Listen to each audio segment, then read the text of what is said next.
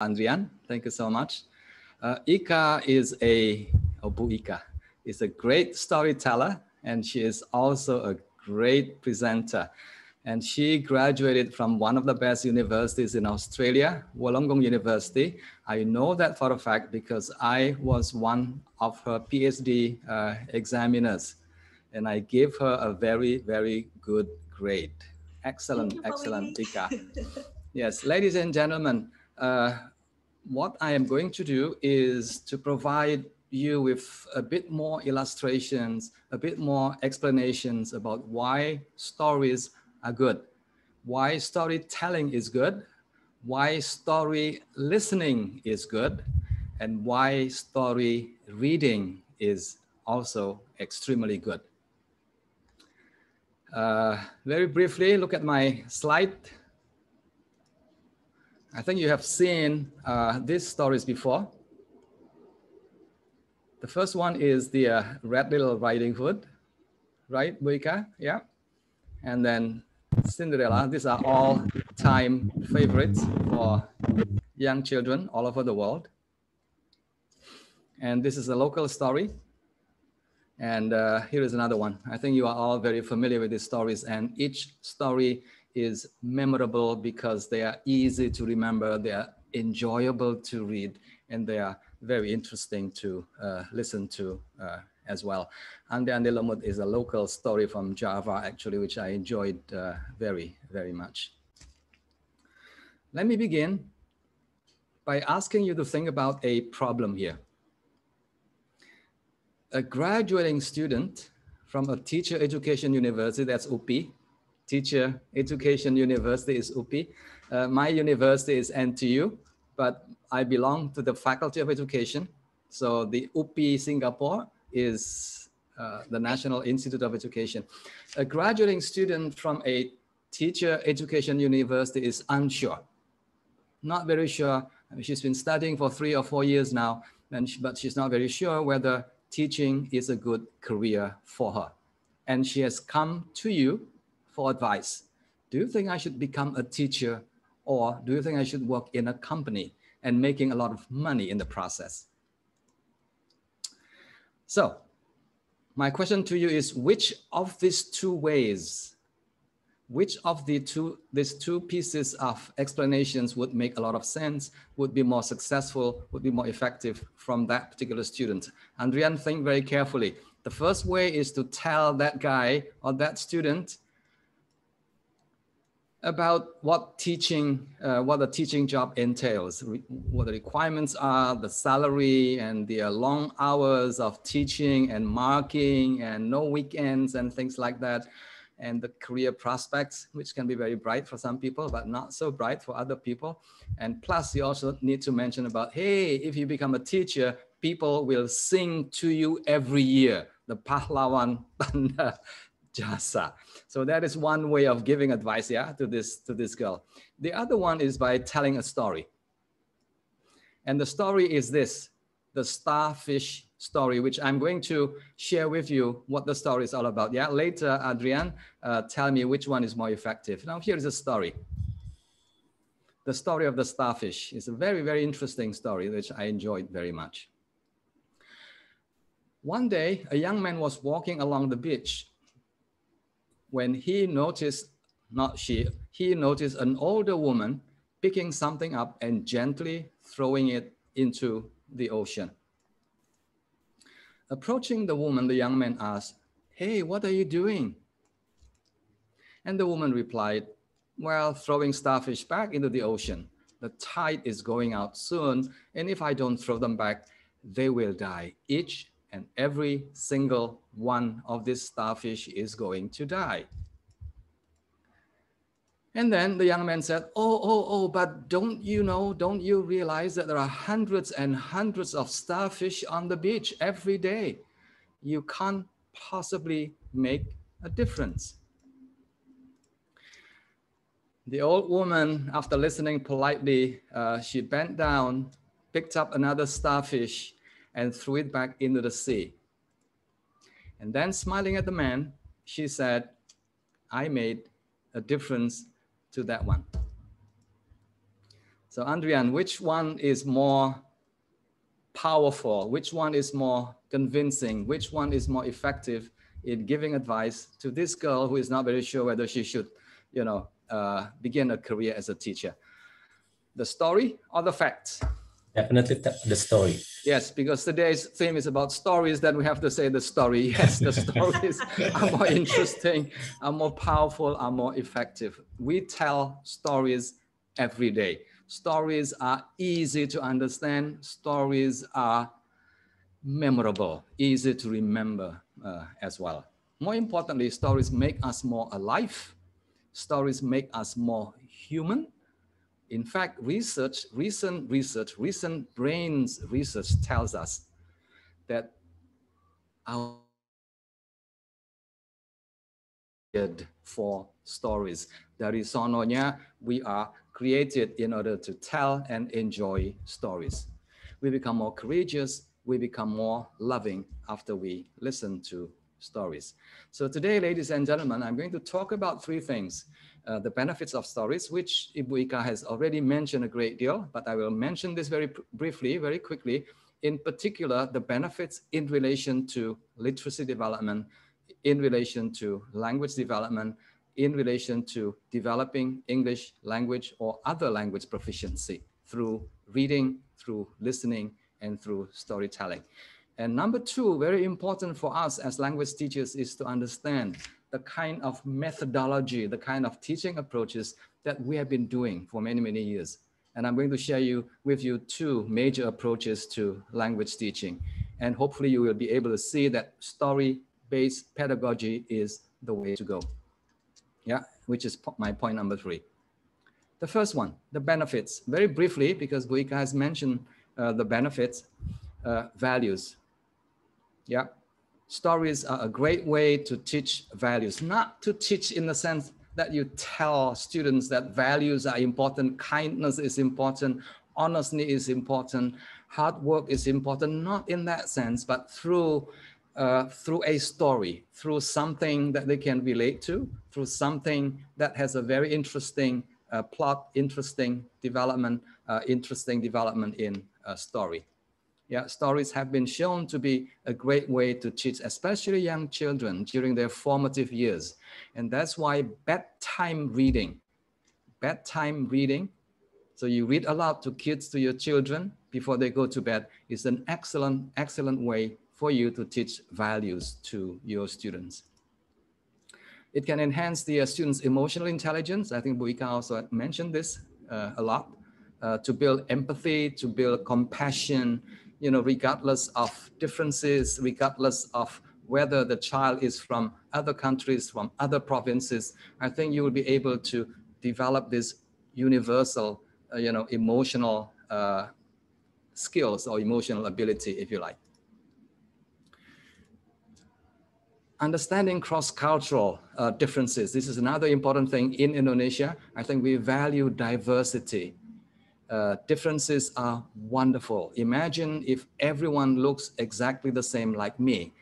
I think the world is not a fun place to be with, to be in. Yeah. Imagine if everyone is like Ibu Ika, uh, then the world will be a wonderful place. Oh. uh, now, interestingly, uh, I think Bahendra mentioned this as well early on, or Ibu Safrina uh, children who read a great deal also tend to perform well in school, not only uh, in relation to language literacies like reading, writing, listening, and speaking, but also other areas of language uh, subjects that are usually taught in school. Uh, in primary school, for example, kids who read a great deal tend to perform better in sciences, in geography, in social studies, and also in mathematics. Surprise, surprise. People who read well, children who read well tend to do well uh, in math uh, tests as well. Now, the benefits actually go beyond what I just mentioned. The benefits actually, uh, you know, uh, is, is, is more than just, you know, school or, or academic development. Biological research shows that stories are dopamine uh, booster. Now, dopamine is interesting. It's a chemical, a kind of chemical that our body produces in response to something that is pleasurable. And reading, listening to stories is something that is pleasurable. And if we do a lot of reading, a lot of listening to stories, then our body will produce a lot of dopamine.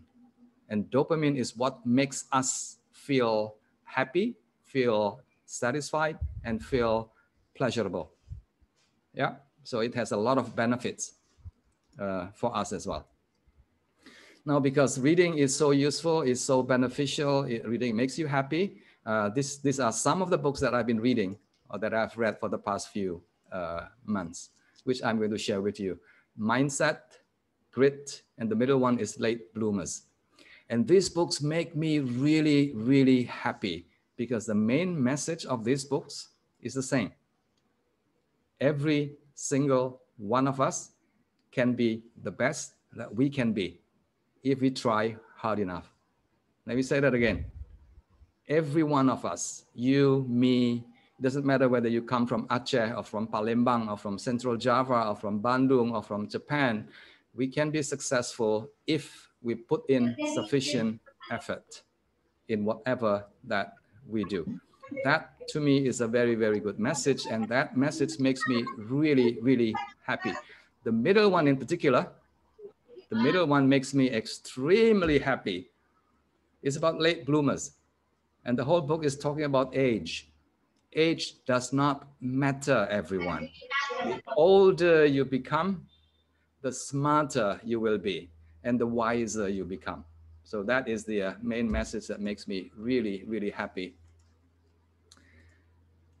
Now, more importantly, let me focus a bit more on the language learning benefits. Two things that makes reading really powerful. Number one, I think Bu Ika also mentioned this early on, that storytelling, story reading, story listening can help students increase their word knowledge. Now, word knowledge has two meanings. Number one is the number of words that you know. Very important. The more words you know, the higher, the better your uh, literacy skills.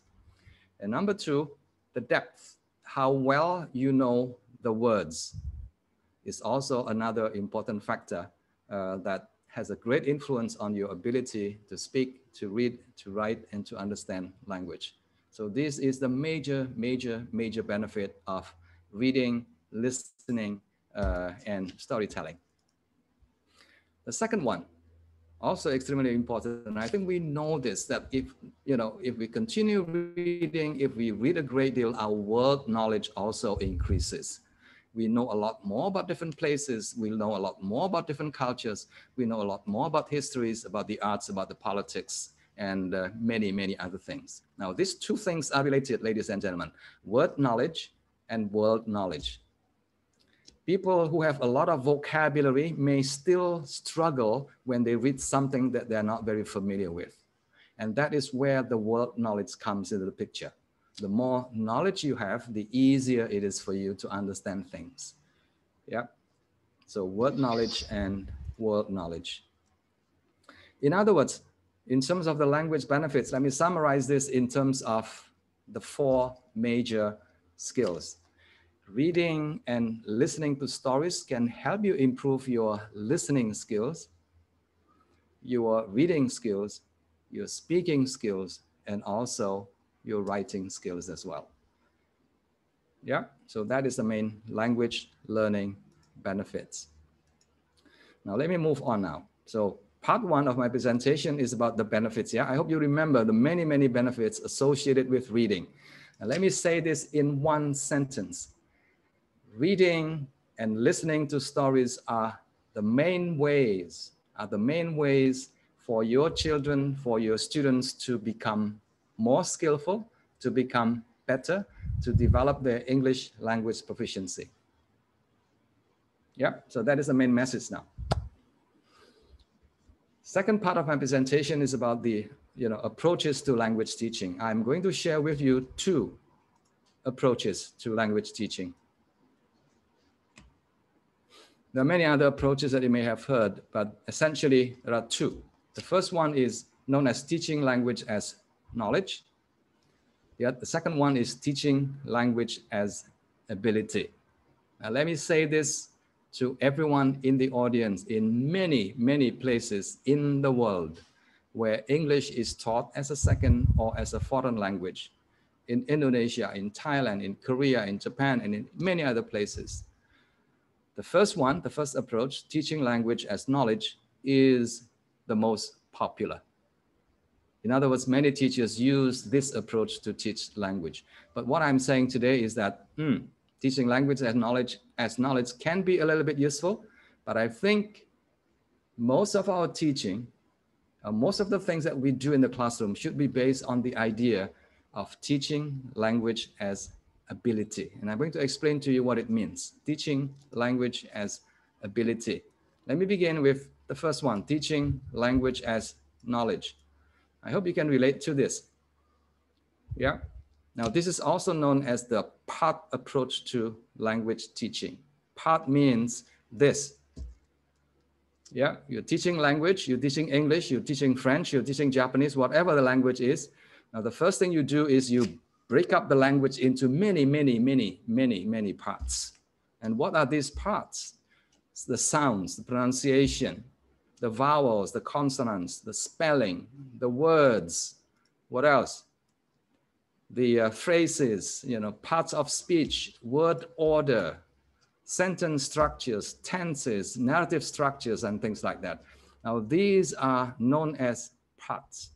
Now, if you take the approach, you know, of teaching language as knowledge, this is what you do. You break the language up into small segments, small elements like this, and then what do you do? You teach each one of them one at a time, step by step.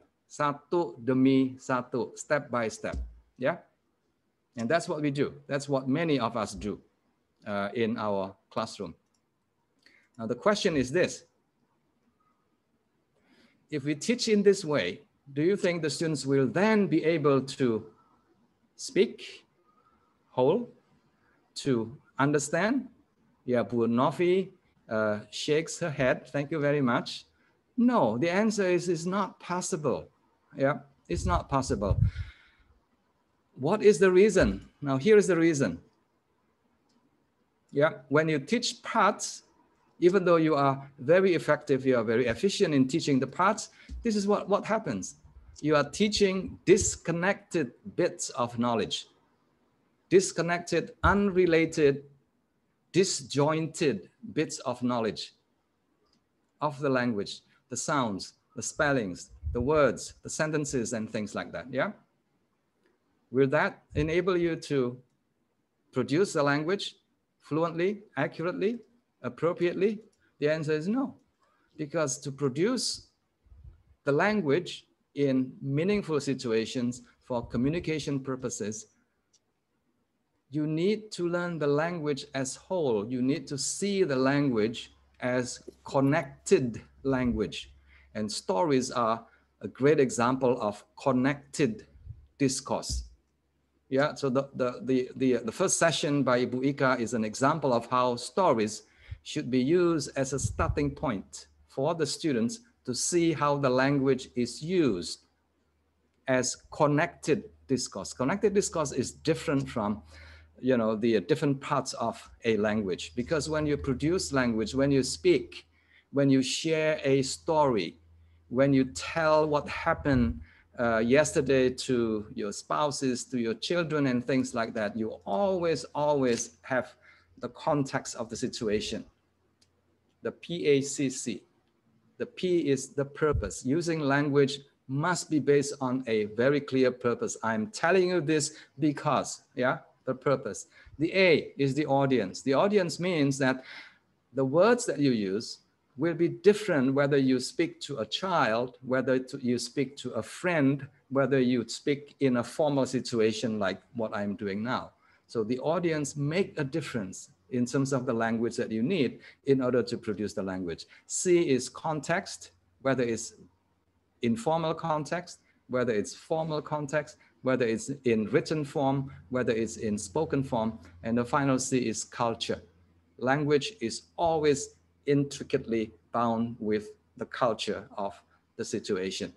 Yeah. So I hope you can see here that if you've been teaching using the, uh, the approach known as teaching uh, languages knowledge, then you can't really expect your students to become proficient, to become good language users. Yeah. So what do we do? I think we need to consider the other approach more carefully. And the other approach is known as teaching language as ability. Now, when you teach language as ability, this is what you do. The starting point is not the part. The starting point is the whole. And the whole here can be a story. The whole here can be a dialogue. The whole here can be anything that is, uh, you know, contextualized, that is meaningful, that is purposeful, a piece of communication uh, that you come across on a daily basis. Yeah, and then you pay attention a little bit to the parts, and then you get the students to look at the whole again. So the name of the uh, approach is whole, part, and whole. And this approach is based on a very, very important principle of language learning, of language acquisition. And that principle says learning happens when students, let me hide the, uh, there you go. When, when happens when students focus mostly on meaning. Yeah, the key word here is mostly. It doesn't mean that we can't pay attention, we can't get the students to pay attention to the language aspects, but the bulk of our lesson will have to be organized in terms of how we can expose students to meaningful language. And that's the kind of things that can uh, really help students develop their English language proficiency.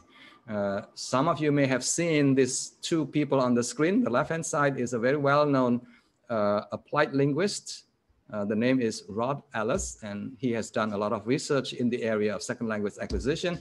And the, the guy on the right-hand side is somebody who is talking to you right now.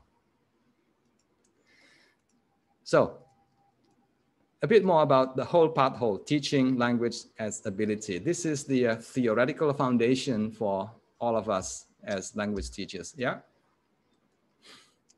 So this is a further explanation what I, I just explained to you. Whole text means yeah, stories, movie clips, TV shows for children, Netflix movies, TED talks, or any other uh, you know, stories or narrative text or non-narrative text uh, that you can use in your teaching. The middle part, yeah, pay attention Bapak Ibu, pay attention very carefully here. The parts here doesn't mean that we teach everything. We, we don't teach every language features that are present in the text. No, we just focus on the most important features of the language. And then we spend some time maybe explaining uh, to the students why the language features are used. There's no need for you to spend one whole hour explaining the present tense that is used in the text. There's no reason for you to explain, you know, in you know 20 minutes the use of the past perfect tense uh, in a particular text that you're using in the classroom because you will be killing students' motivation in that way. And then the next bit is this. Yeah, once you have gone through uh, the whole text and highlight the uh, key features of the language, and then you put the language features back into whole stories as well. Maybe using a different version of the story. Remember children's stories, they come in many, many different versions. Yeah. Uh, Red Riding Hood version one, Red Riding Hood version two, Red Riding Hood version three, or Snow White version one, Snow White version two, and so on and so forth. So the same text can be used again, but maybe with some variations. But the key thing here is that the students are shown the whole text and the students are also paying attention to some of the important language features and then the students get to see the whole text again. So those are the two approaches. I hope it's clear, yeah, Bapak Ibu? Uh, so the first part of my presentation is about the uh, uh, benefits of storytelling, story listening, and story reading. In particular, I focus on how listening to stories, reading stories can help students develop their word knowledge and also their world knowledge. Very important. And then I discuss with you two major approaches. One is teaching language as, as, as knowledge, and the other one is teaching language as ability. We now move on to story-based pedagogy very briefly. My job is very easy because Bu Ika uh, has already done a good job in explaining what story-based pedagogy is all about, but I'm going to do it in a slightly different way. Here, story-based pedagogy. Now, these are three of the most well-known pedagogies, story-based pedagogies. They are very, very, very similar. In fact, in some places, these three things are essentially the same. The first one is known as shared book reading. The second one is interactive reading. The third one is dialogic reading. What Bu Ika did is a great example of interactive reading or dialogic reading or even shared book reading. Yeah, I think you have seen that uh, in the earlier uh, presentation.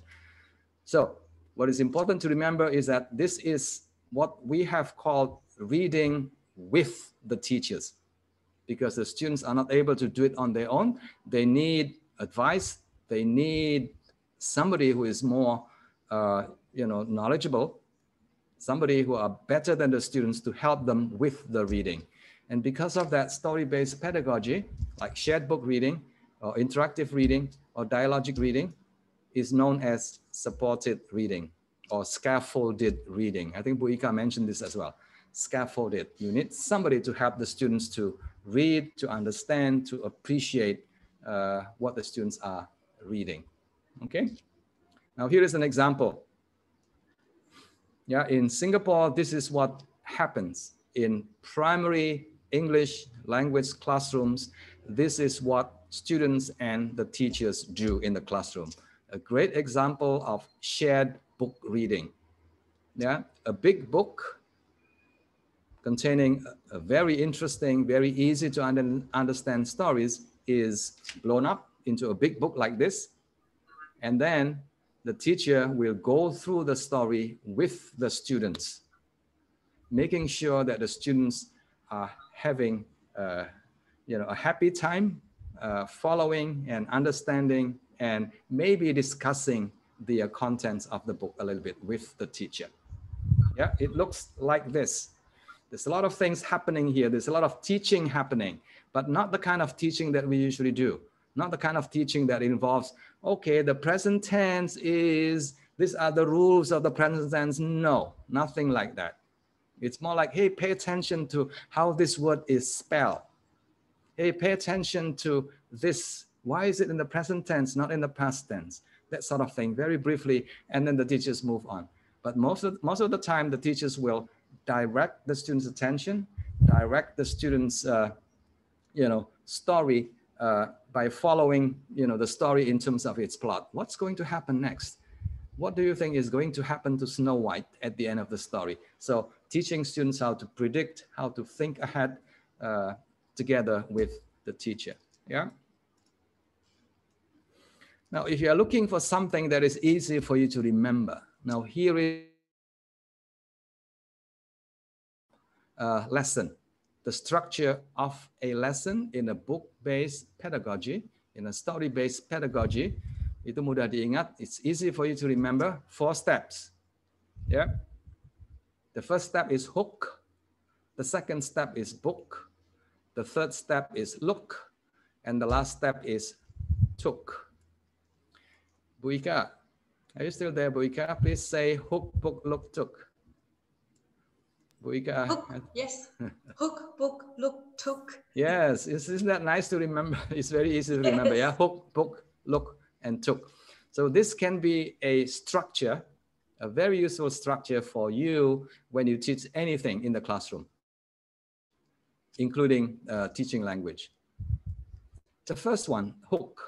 Hook means the first thing you need to do is to make sure that you are able to get the attention of every single student in the classroom.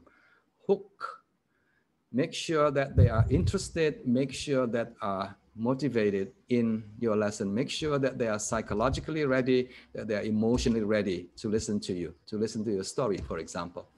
And very often, like what happens in Singapore, the teachers would begin the uh, story-based lesson by singing, by maybe, you know, uh, doing a lot of, a lot of uh, you know, dancing in the classroom, usually singing, not dancing. Yeah, getting the kids to be excited about the book, about the content of the book. And then the book itself. Yeah, the book itself means the time for you to read with your students. So telling a story just by going through the story, reading aloud the story with your to your students is not a good idea. The idea is that you have to read with, you have to involve the students in the story. That's why it's also called shared book or dialogic reading or interactive reading. Yeah. And then look essentially is, you know, you spend maybe a few minutes highlighting, getting students' attention to some of the most important language features. For example, hey, when you speak to somebody uh, whom you respect, you have to use could, for example, or may instead of can. So you are highlighting some of the language features. Hey, look at the spelling of this word. Yeah. Now, the spelling is very tricky because it has double S there in the middle. And then finally, uh, the last one is you recap the whole lesson, take away, but you do it in a fun way. Maybe another singing, maybe uh, writing a poem together, uh, maybe memorizing one or two lines of the stories. They are very easy to remember. So the structure usually goes like this if you teach young children, or even if you teach older children, older adults. I think this structure is very useful. Hook, book, look, and took. Okay, the next question for us is this. We have looked at how, uh, you know, teacher guided or teacher supported reading can happen in the classroom. We have also seen the benefits of teacher reading, story-based pedagogy and things like that. The question is, is it enough? Bunafi, is it enough or not enough? Please say not enough. Only one answer, not enough enough. Not enough. Yes, because not support, enough. Yes, not enough. Because supported reading is the first step. Yeah. And the next step is a bridge towards independent reading. Now, independent reading is also known as pleasure reading, self-selected reading. This is what happens in Singapore. Yeah, after they have done the uh, shared book, the interactive book reading with the teachers, with help from the teachers. This is what they are supposed to do. And then they pick a book of their choice and then they start reading in the classroom and at home or on the bus or in any other places in uh, the school. So very briefly, uh, independent reading or self-directed reading is also known as reading for pleasure or reading for recreation. Again, it's not for teaching basically, but interestingly, when you read for pleasure, when you read for recreation, you get the benefits, a lot of benefits, including language learning benefits. Yeah, so very minimal teaching if you like. Uh, students read for pleasure, students read for general information. They don't need about, they don't need to know about small, small details, like how old was Snow White or how old was Timun Mas, for example. What was the name of the neighbor uh, of Timun Mas? No need to remember all these details. Focus on the big picture. Focus on the big information. Yeah.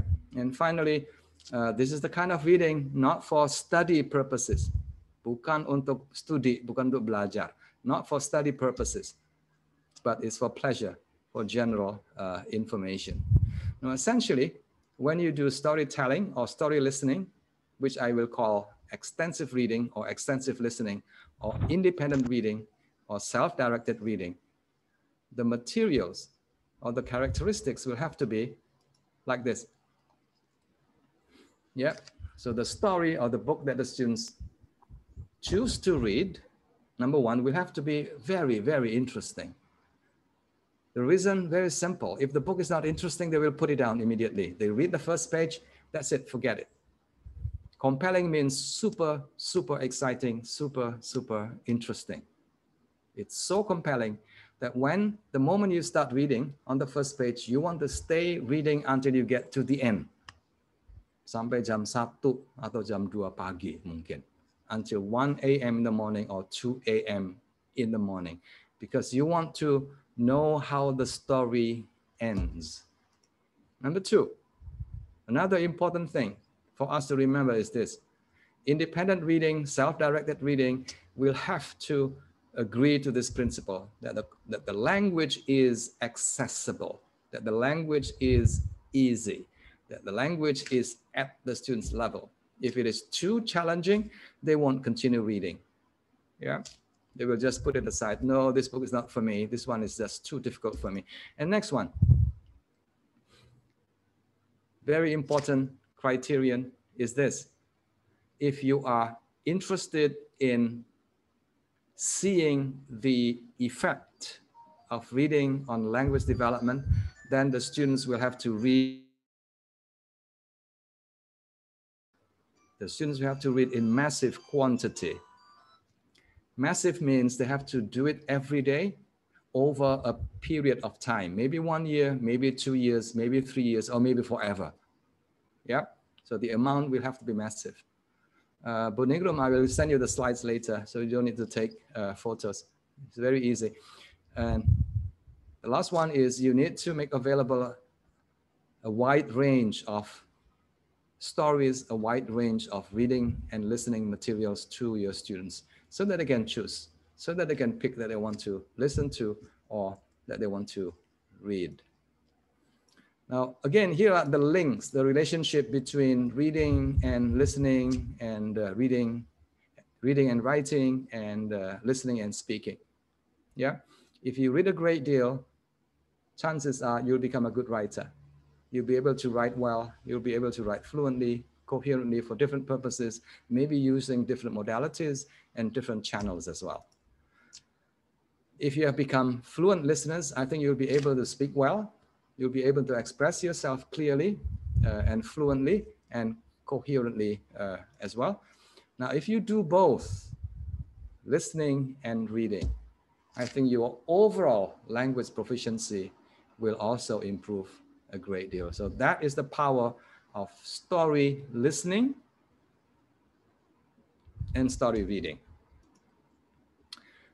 Let me end by sharing with you some important quotes from experts. Now, one of the experts in the field of independent reading, pleasure reading, is a professor, retired professor by the name of Stephen Krashen. And this is what he says many, many years ago. Uh, Ibu Ika is going to read this for me. Ibu Ika, are you still there? Ibu Ika, yes. Yes. Yeah. yes, please read this slowly.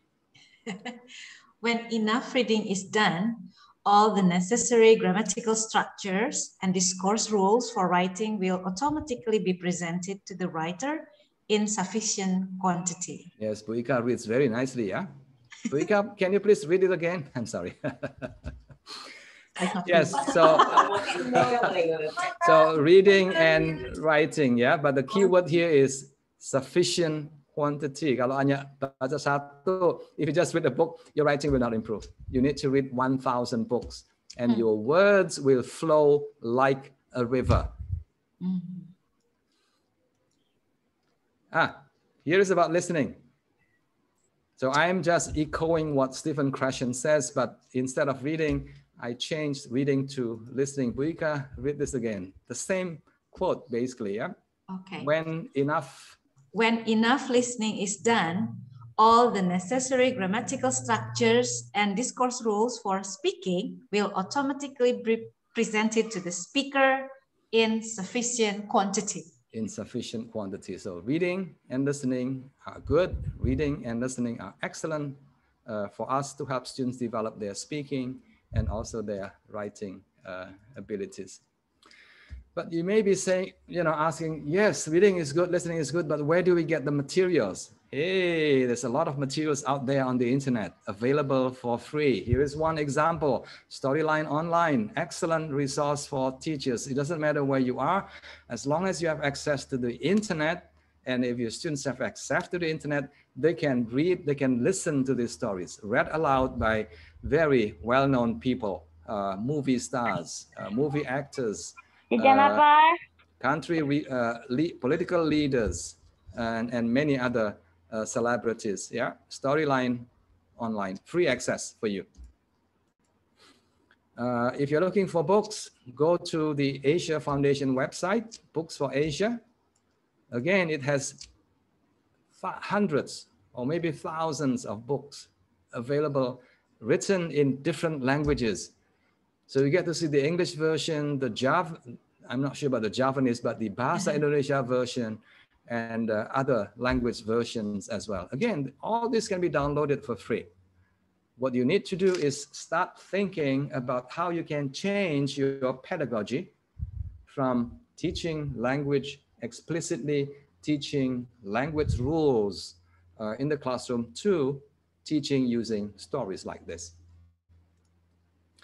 And if, if you don't have a lot of time, but you have some money, then you can try this excellent resource. It's called Xreading. And my colleague later, Paul Goldberg, is going to talk about how this library, digital library, can help your students to develop their English language proficiency by doing a lot of reading and by doing a lot of listening.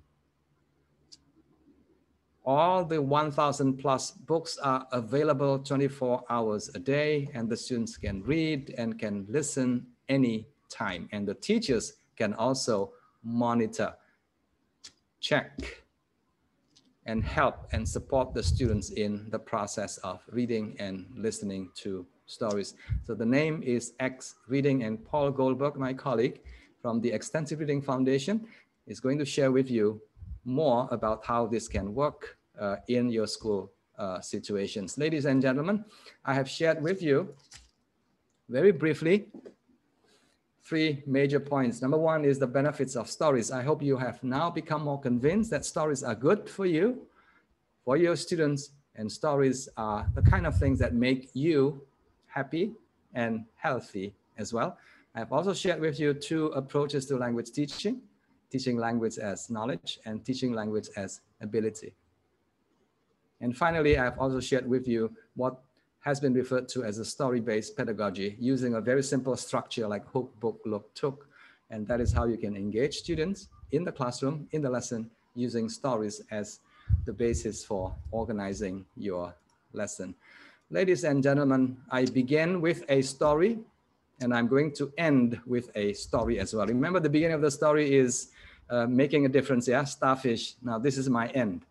Listen to my story. Now this story is dedicated for Ibu Ibu Guru, not for the Bapa, yeah? All the Ibu Ibu Guru in the audience. Now here is how the story goes, yeah? Uh, 10 men and one woman are hanging onto a rope, a rope that comes down for from a helicopter. The helicopter is in trouble, so they have to, you know, come down through uh, the rope.